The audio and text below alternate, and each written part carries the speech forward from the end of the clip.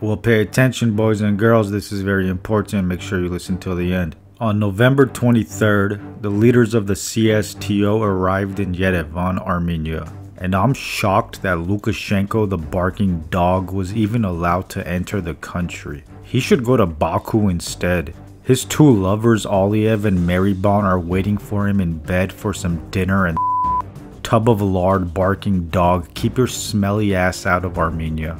Sukashenko got off the plane smiling and shaking everyone's hand. Let's remember how a few weeks ago he called Aliyev his buddy and also said that the CSTO would not protect Armenia from terrorist Azerbaijan's invasions. Clown.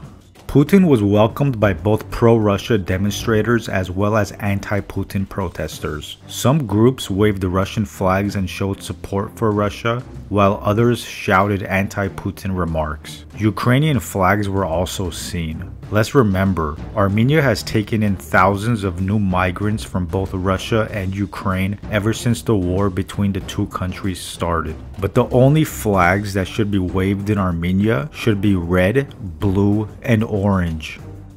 Pashinyan said that when Kazakhstan asked CSTO troops to enter his country in early January, Armenia helped immediately, but it's discouraging that the CSTO did nothing when Armenia requested CSTO assistance during the recent terrorist Azeri invasions. I'm not the biggest fan of Pashinyan, but I see no lies being said here. The CSTO has already publicly stated they won't be coming to help Armenia. What type of alliance is this? We have rat pieces of like Lukashenko saying that Azerbaijan is their friend. Sukashenko's recently been saying that Armenia is useless to the CSTO and the CSTO doesn't need Armenia. So why are you coming to Yerevan laughing and smiling while shaking everybody's hand? Aliyev the Rat this week said that Azerbaijan has more friends in the CSTO than Armenia does, and he's actually right. Let's break that down.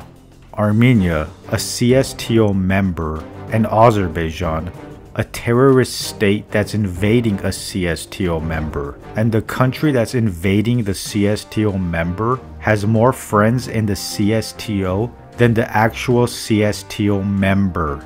Pashinyan went on to say the refusal for assistance from the CSTO after Armenia asked for help caused great damage to the image of the CSTO and stopped short of calling the alliance a complete failure. Pashinyan also refused to sign a CSTO document stating that it did not benefit the interest of Armenia. The information in the document is yet to be revealed.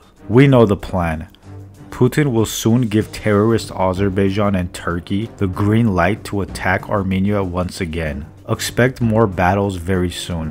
Whether you're pro Nikol or not, there's no denying that the CSTO has failed Armenia. Some say the CSTO is not helping Armenia because of what Pashinyan said and done ever since he rose to power. That's not important right now. We're here now. We're fighting now and it's no excuse for the CSTO to abandon their duties to a member country just because they don't favor the current government in charge. Our soldiers and civilians are dying by the hands of terrorist dog Azeris. On the Artsakh front, the president of Artsakh signed a decree on dismissing a number of ministers. This is due to Ruben Vardanyan's appointment as Minister of State and to the formation of a new cabinet. Vardanyan will have full control of choosing the new cabinet members. Aliyev's nightmare Vardanyan is the top man in Artsakh, and Aliyev's pissing his pants. Gharabagh was never Azerbaijan, and it'll never be. In recent Azeri circles, Azeris rejoiced and celebrated around a memorial post of a 9-year-old Armenian girl who was shelled and murdered by Azeris during the 2020 war. Azeris made comments such as she shouldn't have been on Azeri land and how they wished more would have died. This is the true face of Azerbaijan, the sick and twisted inbred land of sister. Listen closely, boys and girls, this is very important. Make sure you listen till the end. Terrorist Azerbaijan continues disrupting the peaceful Armenian community of Artsakh Nagorno Karabakh.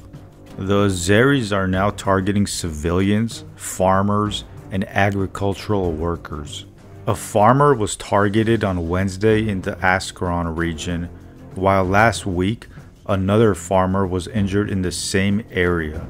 Azerbaijan claims that they were only returning fire and that the Armenian side shot first.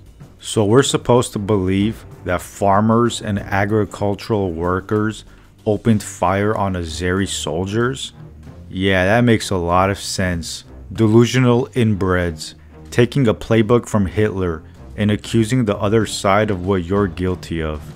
Terrorist dogs doing terrorist dog activities. Just yesterday, the Azeris also opened fire along the eastern border of Armenia and another Armenian soldier was injured. Armenia's defense ministry said that Azerbaijan opened fire at around 11 a.m. local time on Thursday. As a result of the enemy fire, an Armenian private serviceman was injured. The soldier is currently in stable condition and is being treated for his wounds. This is now the second time in one week Azeris have opened fire and injured Armenian soldiers, as well as terrorized the civilians of Artsakh, Nagorno-Karabakh. Pashinyan is beginning to make certain remarks and finally showing some balls to call out this terrorist regime and make hints that a peace agreement is becoming more and more unlikely.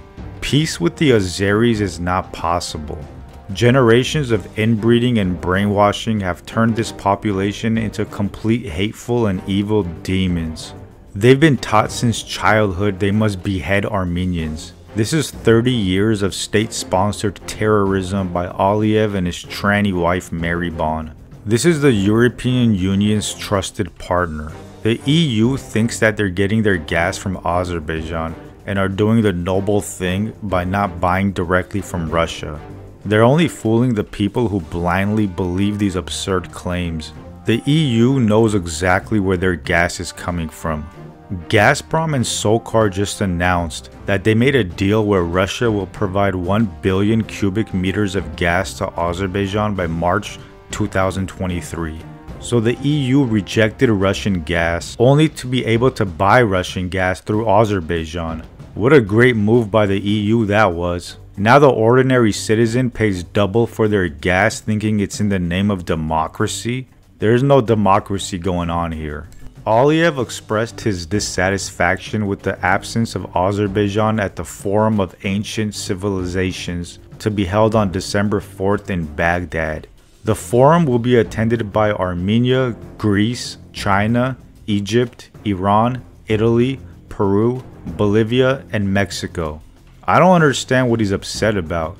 His artificial country is barely a hundred years old. This just shows how delusional Aliyev is. The state minister of Artsakh, Ruben Vardanyan, is the man Aliyev currently fears most. He knows that unlike Pashinyan, Vardanyan has connections to some of the most powerful and elite figures around the world. Vardanyan made his billions through business, unlike Aliyev, who was handed over everything ever since childhood. Vardanyan will soon be the person in the top position in Artsakh Nagorno-Karabakh.